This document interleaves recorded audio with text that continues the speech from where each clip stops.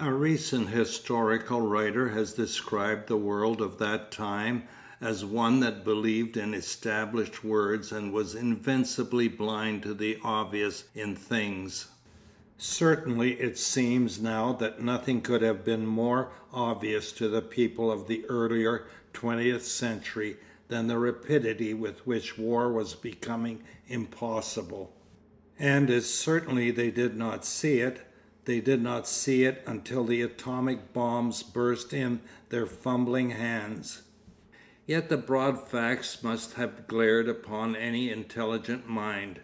All through the nineteenth and twentieth centuries the amount of energy that men were able to command was continually increasing.